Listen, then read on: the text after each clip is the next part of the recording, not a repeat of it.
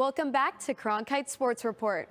The largest sports and family entertainment park in the country is now in Mesa. And that 320 acre complex provides a space for young athletes to do a lot more than just practice sports. Cronkite sports reporter Tyler Rolfs shows us what the park has to offer.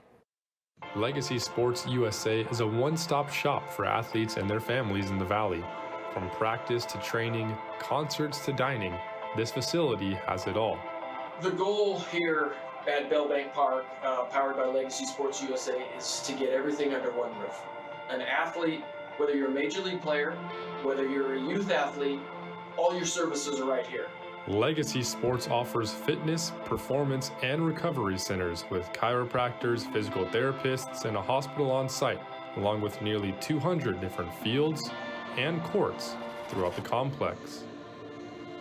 Our mission is to provide a safe, unbelievable experience, the best of the best playing facilities for anybody of all play types.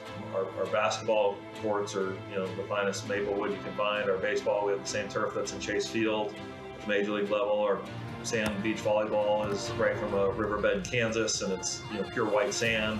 Our soccer fields are FIFA approved. Legacy Sports president Brett Miller says his father Randy first imagined the state-of-the-art facility in 1988.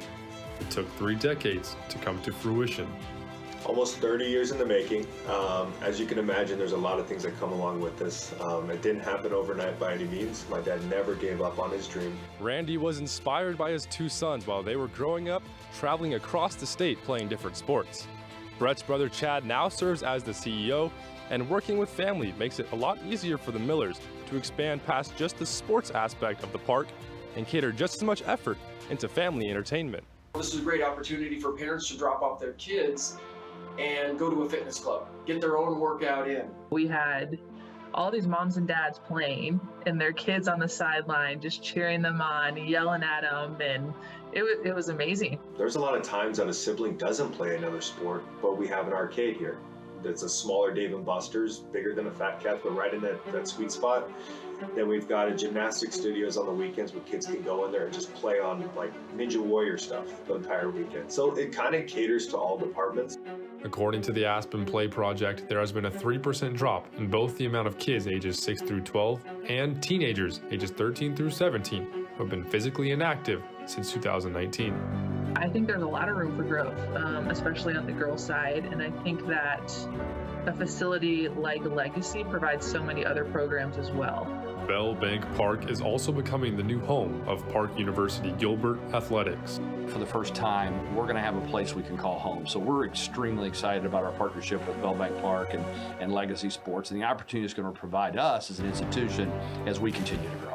Park University Gilbert is only in its third year of operation and is building its sports programs from the ground up, using Bell Bank Park as its athletic facility an opportunity to create an atmosphere that's much like a college environment where all of our teams are going to be able to practice, they're going to be able to play, they're going to be able to train all in one location. So all of the things that we need to do to train high-level athletes and compete for national championships is going to be present at Bell Bank Park.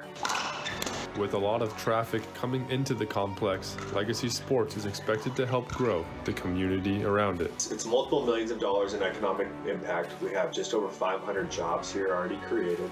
Um, there's about 1,500 total with construction. I think that'll do great things for the East Valley, especially a growing community out there, Eastmark, Santan Valley. They're building the freeway around our park. There's going to be 10,000 more homes going just east of us.